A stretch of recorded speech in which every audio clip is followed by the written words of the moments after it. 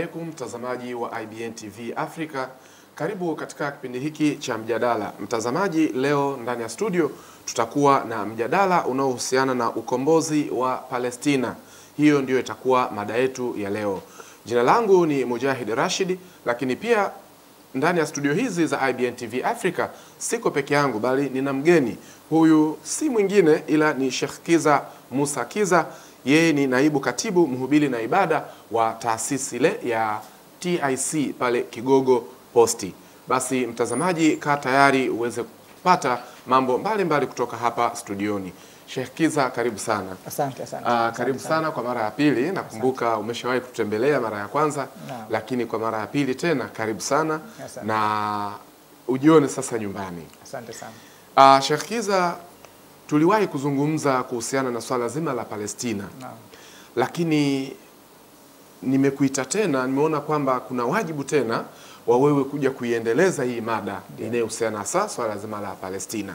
Lakini leo tutakuwa hasa tunazungumzia kuhusiana na swala zima la ukombozi wa Palestina au taifa hili la Palestina. Sasa moja kwa moja tukianza mada yetu, uh, mtazamaji angependa hasa kujua uh, tunavyozungumza kuhusiana na ukombozi wa Palestina, ni nani hasa mwenye jukumu la kuikomboa Palestina? Shekhe, karibu sana. Asante sana. Bismillahi rahmani rahim.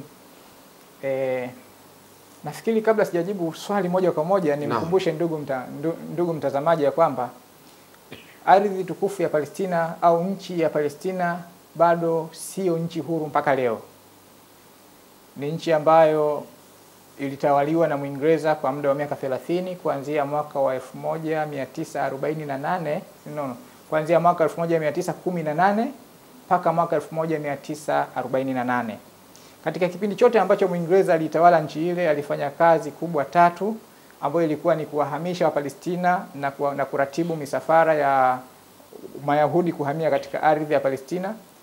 Na pia alifanya kazi ya kuwafundisha jeshi Mayahudi na akafanya kazi akawapatia silaha na hivyo akawa ametengeneza jeshi imara sana la Mayahudi mpaka alipokuja kuwapatia uhuru, ambao uhuru aligawa Palestina katika nchi mbili, nchi ya Mayahudi na nchi ya Wapalestina. Nchi ya Mayahudi aliipatia katika ramani yake ya kwanza asilimia 56 ya ardhi yote ya Palestina na nchi ya Waarabu wa Palestina akawapatia asilimia 44, ambapo Waarabu walikataa na hawakupewa uhuru kwa sababu walikataa, na ikatangazwa tarehe kumi na nne mwaka wa 48 wakatangaza kama, kamati ya uongozi ya Kiyahudi ikajitangazia uhuru, na hapo tarehe 15 Umoja wa Mataifa ukatambua rasmi ardhi ya, ya Israeli kuwa ni nchi huru, nchi ya Mayahudi.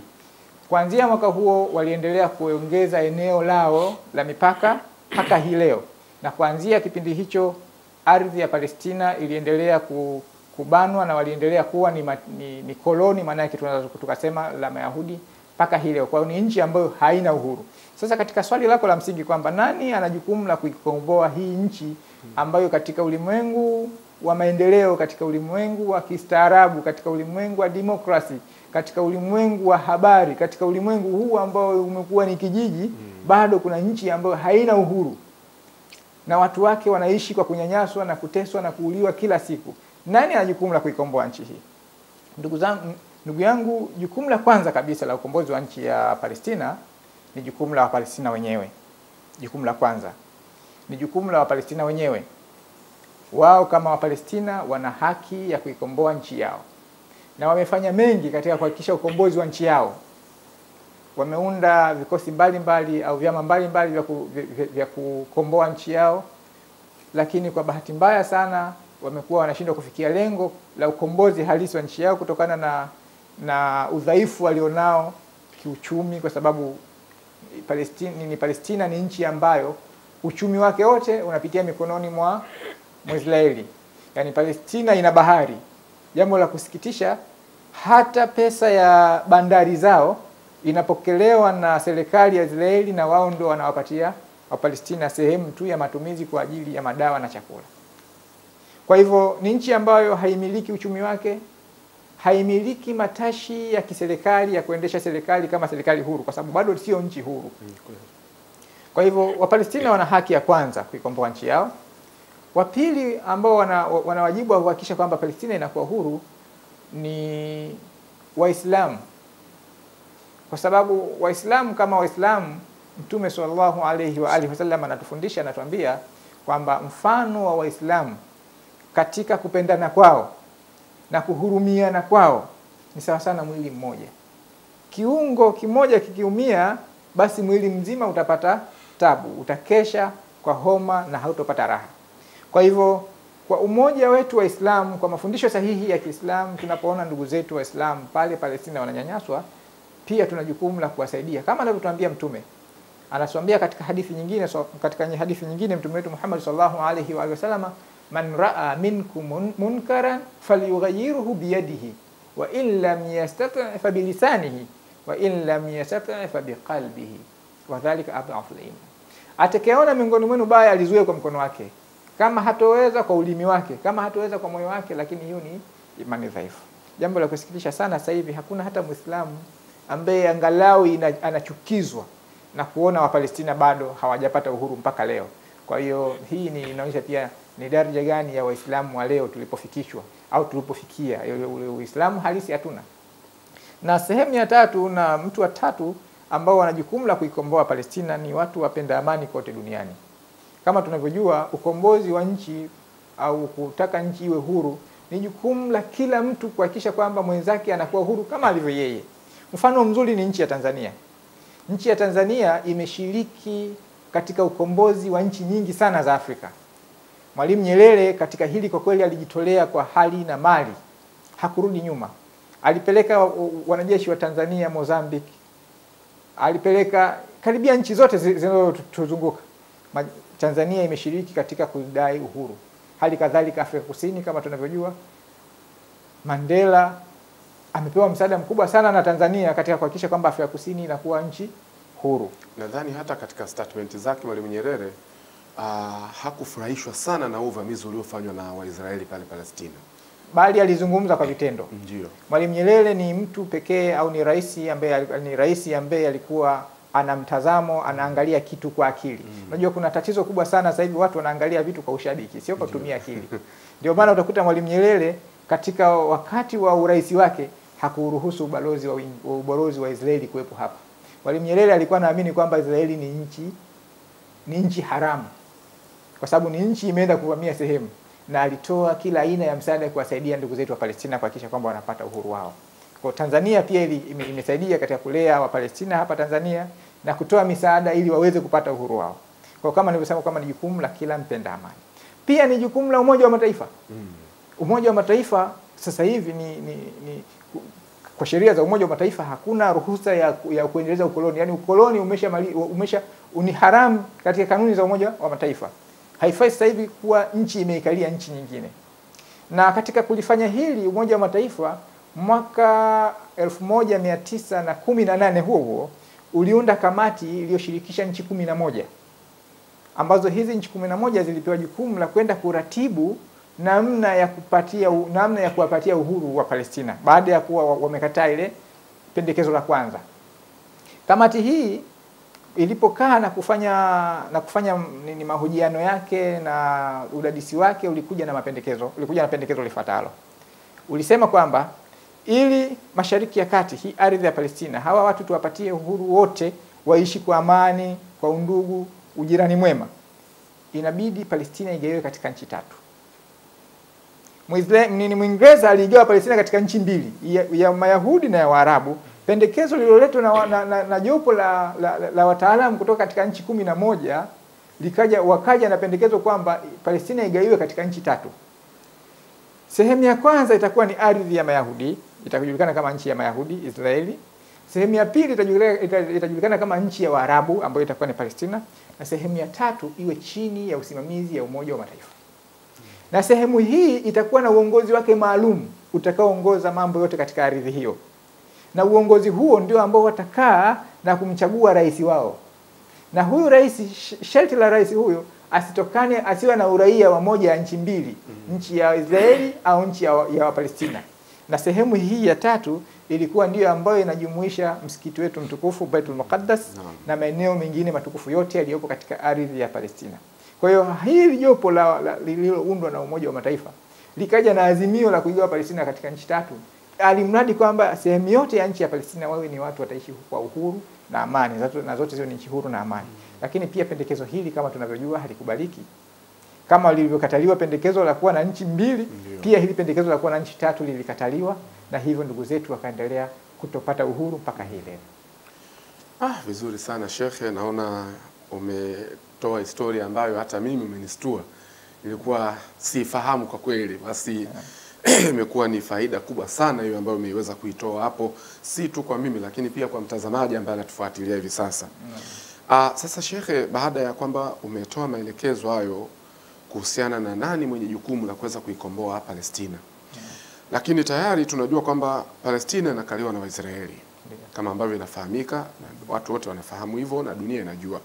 Sasa labda hawa wa Israeli wao wanatumia au hawa Mayahudi wao wametumia eh, yani tuseme wametumia, wametumia zaidi silaha gani ili kuweza kudhibiti maeneo yale ya Palestina au kuweza kuikalia ile Palestina yenyewe? Vizuri. Kwanza kabisa kama tunavyojua, tukirudi katika historia, Mayahudi waliishi kwa wingi sana katika bara la Ulaya, Naam. Na bara la Ulaya asilimia kubwa ya wakazi wake walikuwa ni Wakristo. Mm. Wakristo waliwachukulia Mayahudi kama ni maadui zao, mm. na tukisoma katika historia ya kanisa utaona ni namna gani kanisa lilivyosimama kuwaua Mayahudi Mm. katika nchi mbalimbali za Ulaya. Kwa hivyo miongoni mwa watu ambao walikuwa ni maadui wakubwa wa Mayahudi au Waisraeli kwa leo hii walikuwa ni Wakristo. Hali kadhalika tukisoma katika historia utakuta ni namna gani Uislamu nao ulivyokuwa unawachukulia Mayahudi Mm. na hii ni kutokana na wao Mayahudi walivyokuwa wakiupiga vita Uislamu, mm. kwa sababu Waislamu siku zote tunakuwa na siasa za kujilinda. Sisi hatuanzi kumchokoza mtu. Waislamu ni dini pekee ambayo inatuhimiza kuishi vizuri na kila mtu, bali na kila kitu, kama kama jinsi Mwenyezi Mungu Subhanahu wa Ta'ala alivyosema kuhusu mtume wetu, wama arsalnaka illa rahmatan lil alamina, hatukukutuma isipokuwa uwe ni rehma kwa walimwengu wote. Kwa hiyo Waislamu siku zote sisi tunahakikisha kwamba tunakuwa ni watu wa amani, tunakuwa ni watu wa kulingania umoja na, na upendo kwa watu wote, lakini yule ambaye atakuja kutushambulia tuna haki ya kujilinda kama binadamu.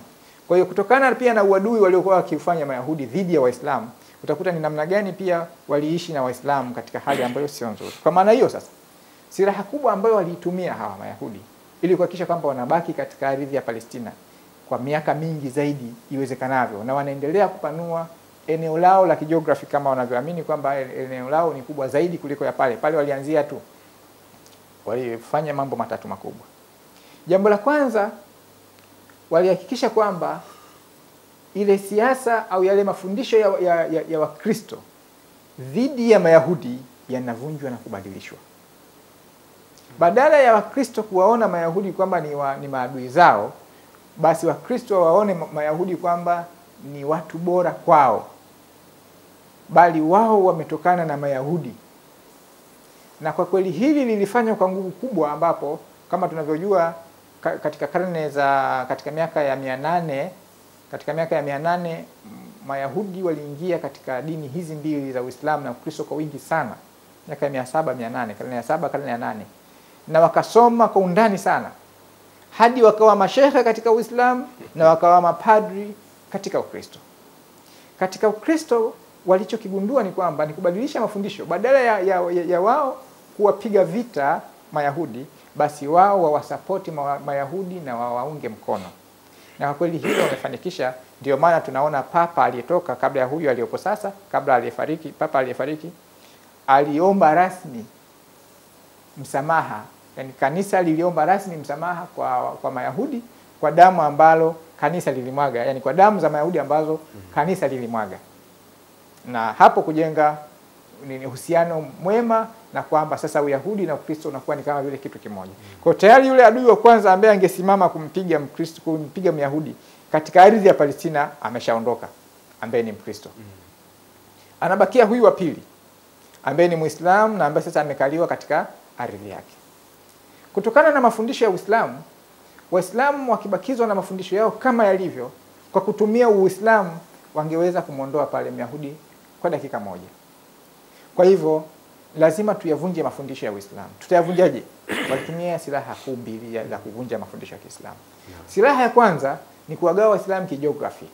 Kama tunavyojua kwamba eh, baada ya vita vya dunia kulipita ukoloni ambao wakoloni waligawana maeneo mbalimbali ya dunia. Ehe, na wa, baada ya kwamba wame- wametutawala kwa miaka mingi, walikuja hasa kuachia, yani walikuja kupitisha tena sheria ya kuvunja ule ukoloni, kumaliza ukoloni na watu kuwapatia uhuru wao. Katika kuwapatia uhuru wao wakaweka mipaka. Mipaka ambayo imewekwa baada ya ukoloni inatofautiana kidogo na mipaka iliyokuwepo zamani wakati tunaishi kikabila au kikanda. Kwa hiyo hii mipaka iliwekwa kwa makusudi ili, ili mradi ije ichonganishe watu baadaye wapigane kwa ajili ya mipaka. Kwa hiyo miongoni mwa vitu vilivyotumika kuvunja imani za Kiislamu ni kuwafundisha watu utaifa zaidi kuliko kitu chochote, kiasi ambacho Mtanzania anajiona yeye ni Mtanzania hata kama Muislamu wa Kenya anauliwa, anaona yule ni wa Kenya, hanihusu. Mm, Kweli kabisa. Mjordan anajiona yeye ni Mjordan hata kama Muislamu wa Palestina atauliwa, anajiona yeye ni Mjordan, yule hamuhusu. Hiyo ni njama ya kwanza, kutufundisha utaifa zaidi kuliko imani ya dini zetu. Kwa hiyo tumekuwa ni wataifa zaidi. Jambo la pili la kuwagawa Waislamu katika misingi yao ya Kiislamu, tafkiki baina sufufi lmuslimina, kuwagawa Waislamu, na hili nalo limefanywa kwa ustadi mkubwa la kuwagawa Waislamu, si kuwagawa tu, bali kuwagombanisha, waendelee kugombana wao kwa wao, kwa sababu hawa Waislamu kama wasipogawika, kama wasipogomba, kama wasipogombana wao kwa wao, ipo siku watasema hii ni kibla yetu ya kwanza, huu ni msikiti mtukufu katika ile misikiti mitukufu mitatu. Wa Baitul ni lazima tukomboe msikiti huu. Kwa hivyo katika zama hizi za hapa karibuni, maanake safari ya kuwagawa Waislamu nayo imeanza zamani na safari ya kuwagombanisha Waislamu imeanza zamani. Tukianzia huko zamani hatutofika, tunaangalia hizi miaka hii miaka ya hapa karibuni, ambapo sasa ule unyama na ukatili unaofanyika baina ya Waislamu kwa Waislamu umepitia ume, ume, umepita mipaka. Yaani mimi huwa saa zingine nikisoma historia naangalia zama ambazo tuliziita katika vitabu vya historia kwamba ni zama za kijinga, halafu ukilinganisha na zama za kisasa ambazo tunaita kwamba sio za sio zama za kijinga, baada Tumeendelea. tumeendelea, tunayoyafanya sasa yanashinda yatu mambo yaliyofanywa na zama za kijinga. Kwa hata tukisoma katika historia mabaya yaliyofanywa na watu waliotangulia katika katika kufitanisha kufitinisha Waislamu, kugombana Waislamu kwa Waislamu na yanayofanywa sasa, tumezidia yale yaliyopita. Sasa hivi kulianzishwa vikundi mbalimbali vya Kiislamu ambavyo vili ambavyo vimefundishwa mafundisho ya aina ya ajabu sana kwa lengo la kuwagawa Waislamu. Nitakupa mfano wa kundi la Taliban. Mm. Taliban ni watu ambao wamesoma Uislamu, wakafundishwa Uislamu, wakaonekana ni Waislamu wazuri, walitokea ghafla kwamba na wakawa na nguvu ya ajabu kuipindua serikali ya Afghanistan, serikali halali iliyokuwepo Afghanistan, na imani walizokuwa nazo ni kila asiyekuwa Talibani ni kafiri, yani kila asiyekubaliana nao Mm, ni kafiri. kafiri. sawa sawa, huyu ambaye hakubaliani nayo ni madhehebu nyingine mm, au ni ndani ya madhehebu moja. Ndiyo Waislamu wengi sasa hivi wanapikiwa mpira au wana- au wana- wanapigiwa ngoma ya ushia na usuni, Mm. hawajui hii ngome imetoka wapi. Kweli. Ili wagawanye. Wana, wana, wana, wanajaribu kufundishwa kwamba kuna tofauti na kuna na, na, na kuna aina fulani ya, ya, ya, ya- ya umbali mkubwa sana baina ya Shia na Sunni na kuwatoa mashia kabisa katika Uislamu kwamba hawa watu ni makafiri, na watu bila kutumia akili zao hata hawaangalii kwamba huu ukafiri wa hawa wanaoitwa mashia unatoka wapi. Jambo la kusikitisha, utawasikia mashekhe wakubwa wakizungumza mambo kwa midomo mipana kabisa kwamba mashia wana Qur'ani yao, mashia wamkubali Muhammadi, mashia mambo ambayo hayapo kabisa katika ushia. Ndugu zangu Waislamu, sisi mashia na ndugu zetu masuni wote ni Waislamu kitu kimoja, tunaamini. Qur'ani moja, Mm. tunamwamini mtume wetu Muhammad sallallahu mm. alaihi wasallam mmoja, kibla yetu moja, mm. sote tunafunga, sote tuna hiji, sote tunatoa zaka.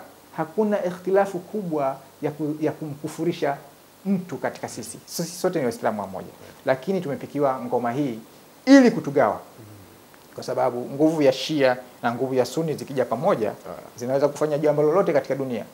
Sasa ili kuhakikisha nguvu hizi mbili hazitokaa pamoja, tumefikia hatua ya kwamba kufundishwa kwamba Shia ni kafiri na huyu sio kafiri. Sasa tuangalie hiyo sehemu ya kwanza. Sehemu ya pili, huo usuni wenyewe, Sunni kwa Sunni wanaitana makafiri. Yaani leo hii right, kama watu watapigana kwamba Shia ni kafiri wakammaliza Shia, wakabaki masuni watupu, watasalimika? Hawezi kusalimika. Mm, -mm, Halafu haya tunayosema kwa sasa, tunayo mifano hai Mm. kwa sababu ndani ya nchi ya Palest ya Syria kuli, mwanzoni. Halafu jambo la kusikitisha sana ni kwamba sasa hivi ame, ambaye amekuwa anawaambia watu au walimwengu kwamba nani Muislamu sahihi ni Myahudi.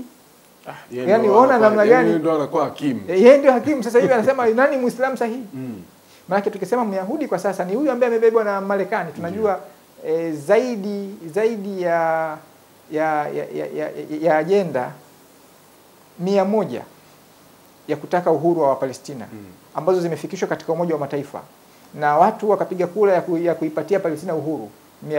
Marekani peke yake alipiga kura ya turufu kukataa kwamba Palestina isiwe taifa huru. Kwa hiyo mambo yote ambayo yanatakiwa na Myahudi yanatekelezwa na, na, na Marekani katika sura ya kimataifa. Sasa leo hii Marekani ndio huyu ambaye alisimama akatangaza kwamba hawa ni Waislamu wenye msimamo wa kati, tuwasaidie. Na nyote ni mashahidi dunia nzima ni namna gani Umoja wa Mataifa ukiongozwa na Marekani walivyotoa msaada mkubwa wa silaha kuwafundisha vita katika nchi za Uarabuni kwa ajili ya kuwapiga serikali ya Bashar Assad. Kwa nini? Eti kwa sababu yeye ni Shia tu Alawi Mm. na amepewa majina mengine mengi tofauti. Hawa hao waliofundishwa jeshi, waliofundishwa vita na Marekani ndio hao ambao ndani yake walikuja kupatikana Daesh. Mbali kabla ya, ya, ya Daesh walikuja kupatikana hawa Nusra na Daesh ambao walikuwa wote kikundi kimoja cha, cha Nusra wakatangaza utii kwa Al-Qaida, halafu baadaye walipigana wao kwa wao. Zaidi ya wapiganaji elfu kumi wamekufa kati ya Daesh na Nusra, wote watu wa dhehebu moja, mlengo mmoja wote watu wa dhehebu moja mlengo mmoja. Kwa hii ni ngome ya, ku, ya kuvunjwa nguvu zetu Waislamu, kutupiganisha sisi kwa sisi.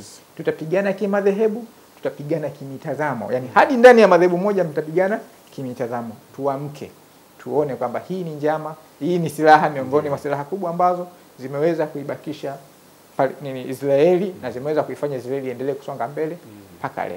yeah.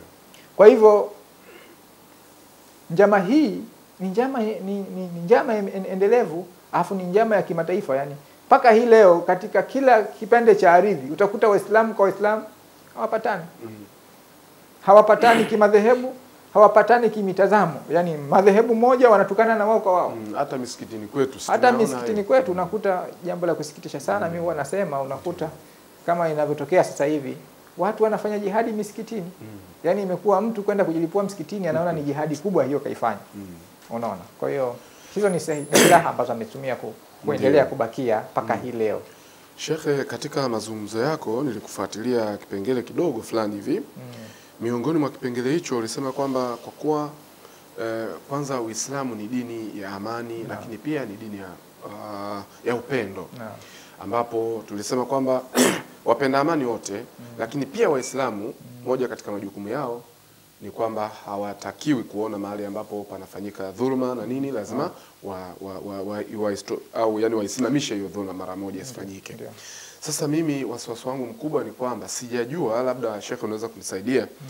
ingawaje swali langu litakuwa liko nje kidogo, lakini naamini litakuwa ndani ya maudhui hii moja mm. kwamba tayari duniani tunaona kuna vikundi vingi tu hususan mm. hata huku kwetu Afrika mm. tuna vikundi kama vya Boko Haram mm. tuna vikundi kama vya Al Shabab. okay. Vikundi hivi vimebeba sura ya Uislamu Ndio. lakini vikundi hivi vitendo ambavyo wanavifanya viko nje kabisa na kama ambavyo umesema kwamba Uislamu ni lugha eh, ni, ni, ni, ni dini ya upendo na amani. yeah. Leo hii kama alshabab kama kama labda Boko Haram wanavamia kijiji, wanachinja watu, wanachoma moto watu na majumba yao na mali zao.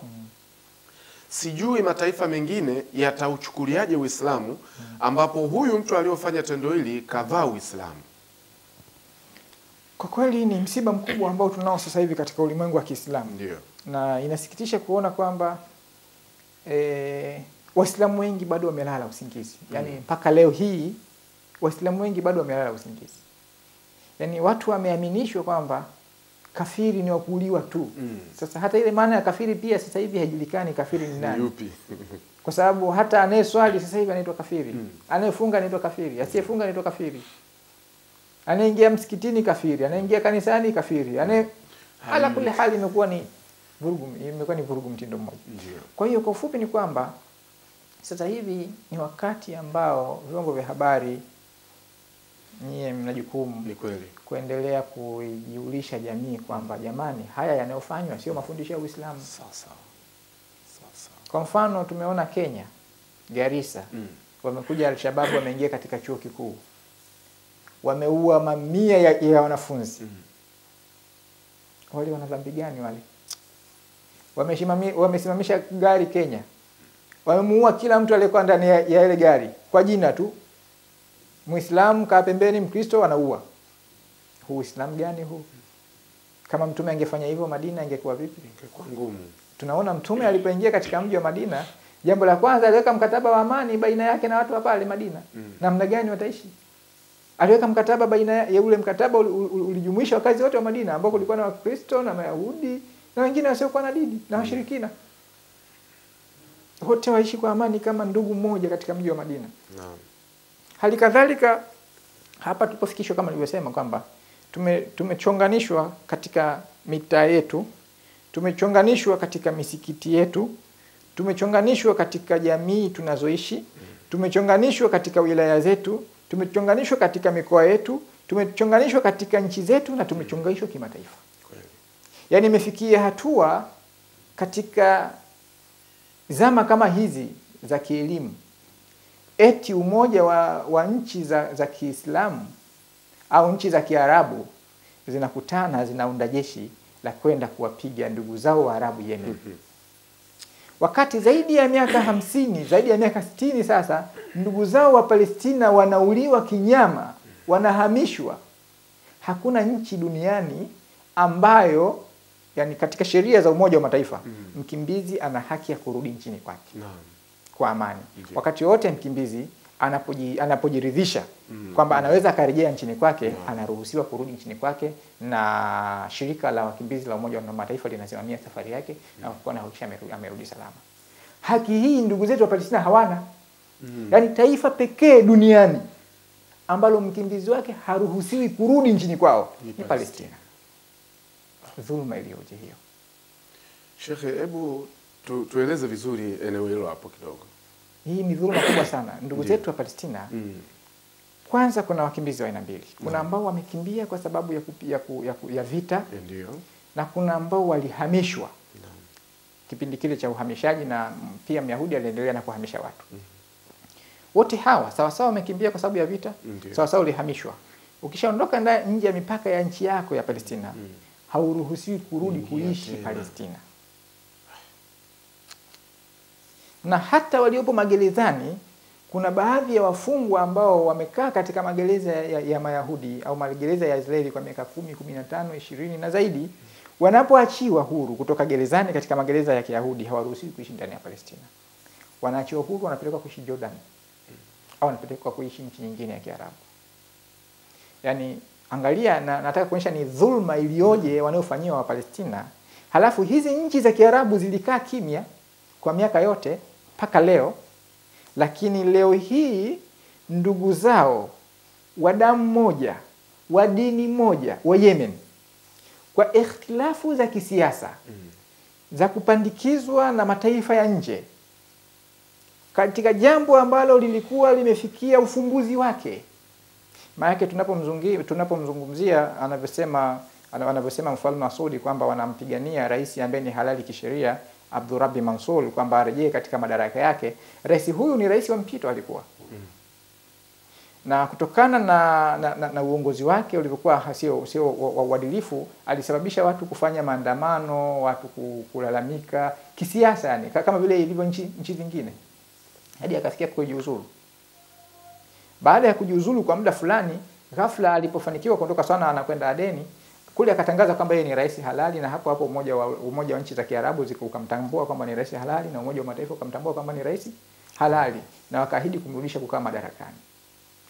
Asili zaidi ya asilimia tisini ya jeshi la, la jeshi la Yemen liko pamoja na vuguvugu vugu la wananchi.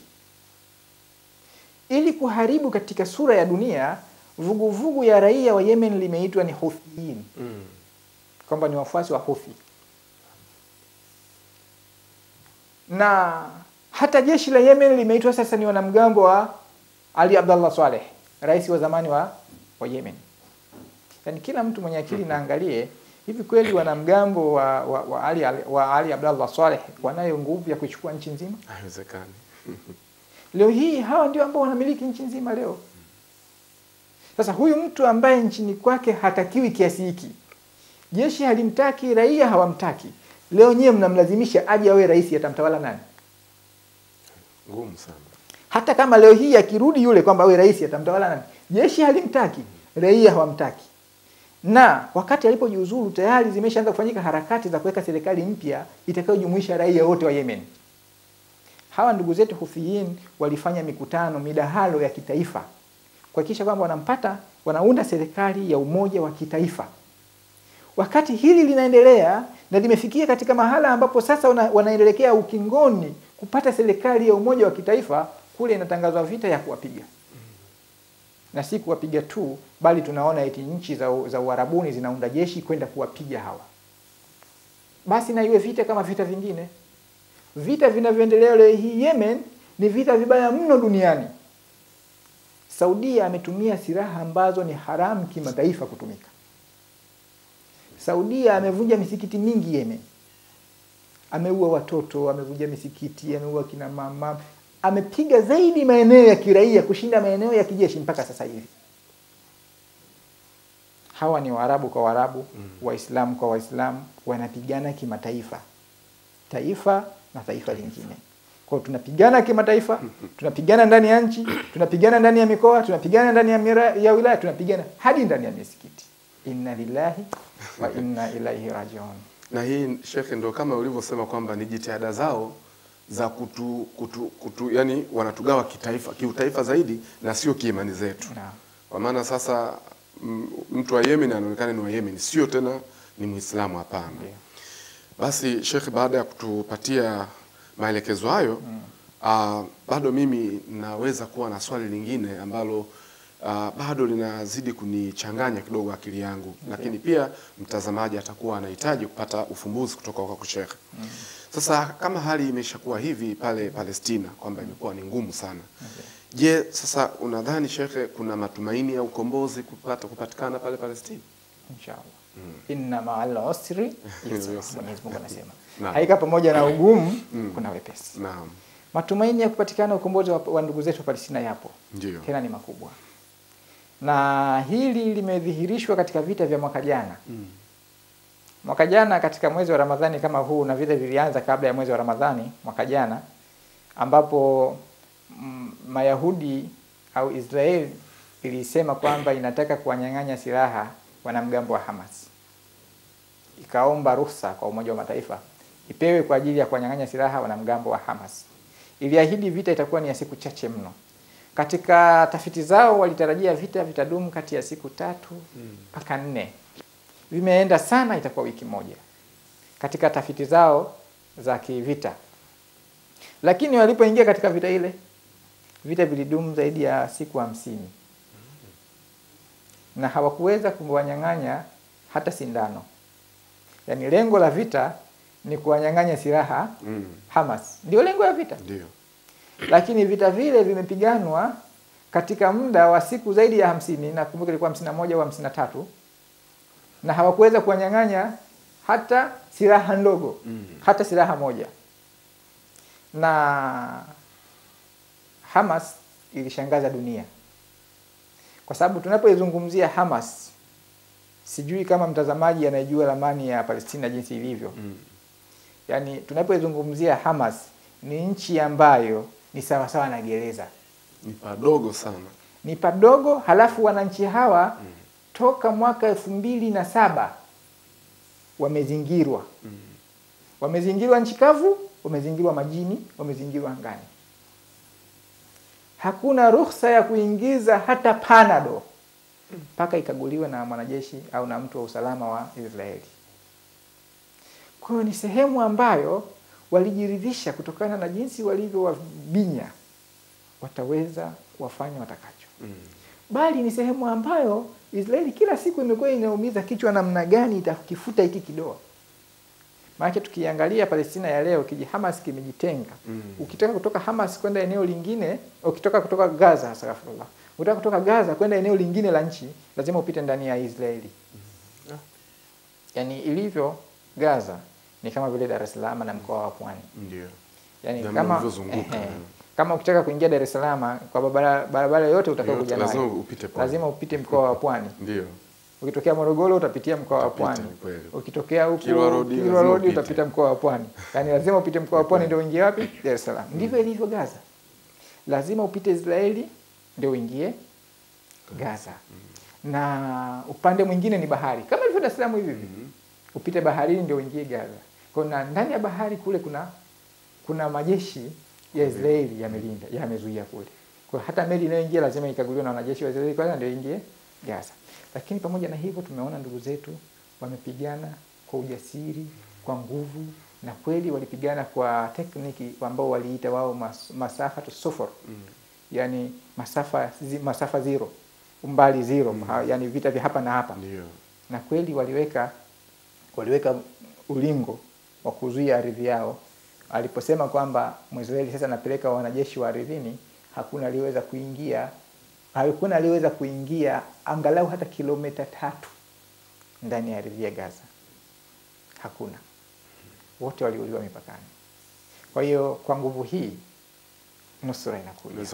Kwa hiyo hapa tunaona nusura kwanza, Mm, wenyewe Mm. wa Palestina wamejiimarisha na hii ilikuwa ni kipimo cha kuangalia, sababu hofu yao ni kwamba hawa Hamas na baadhi ya wapiganaji wa Kipalestina watakuwa na nguvu kama walizonazo Hizbullah, Mm. kwa sababu mwalimu wao ni yule yule aliyowafundisha Hizbullah.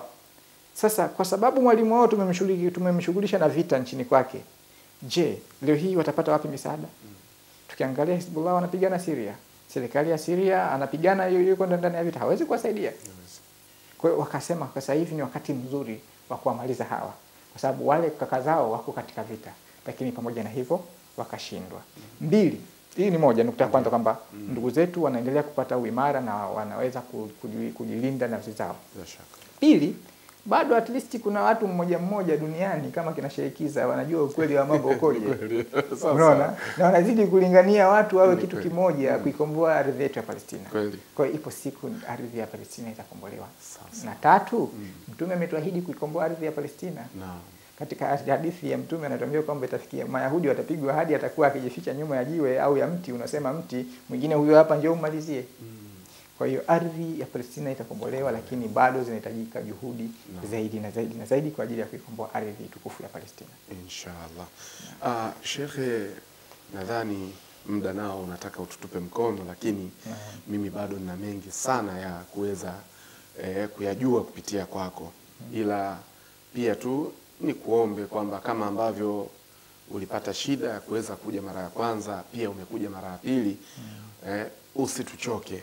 Naamini nikikuita studio basi nakuita mimi, lakini kwa niaba ya mtazamaji, kwani pia mtazamaji ndiye hasa mlengwa na ndiyo hasa anayekusubiri shekhe uweze kumpatia kile ambacho unakuwa umekiahidi, lakini au umekiandaa. Lakini kabla hatujamalizia, labda shekhe, ulikuwa na lipi la kutaka kumalizia kabla hatujamaliza kipindi chetu?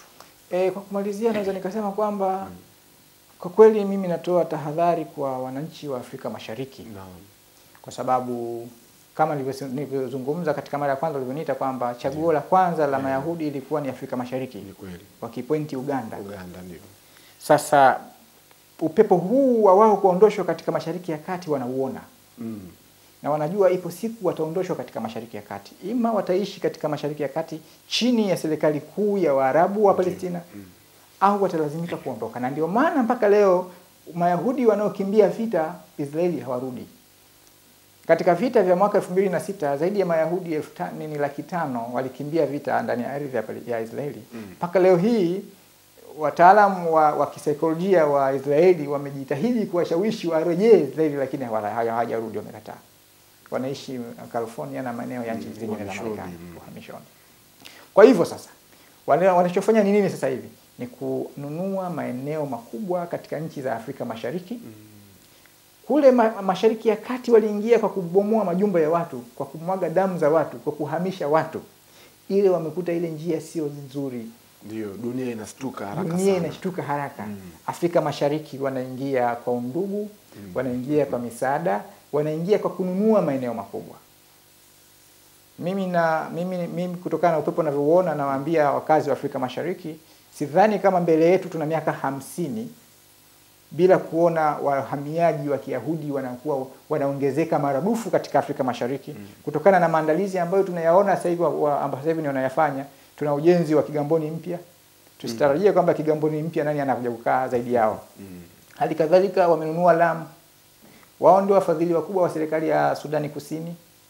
Wamenunua maeneo makubwa mengine ndani ya Kenya mm. mbali ya Lamu yenyewe mm. na hali kadhalika Tanzania, wao ndio wafadhili wakubwa wa mradi wa kilimo mm. kilimo kwanza na mambo mengine. Kwa hiyo huku kwetu wanaingia kwa siasa hii. Ndiyo. Kikubwa tujiandae namna gani tutaishi nao watu hawa hatari, ambao tunaona ni namna gani wamemwaga damu na kuwatesa ndugu zetu wa Palestina katika Mashariki ya Kati.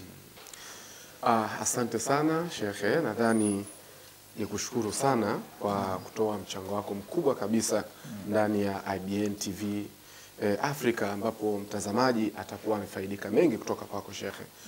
Basi mtazamaji wa IBN TV Afrika, mpaka kufikia hapo studioni hatutokuwa na la ziada, bali kumbuka tu ulikuwa nami Mujahid Rashid na mgeni wangu Sheikh Kiza Musa Kiza akitokea pale msikiti wa Kigogo.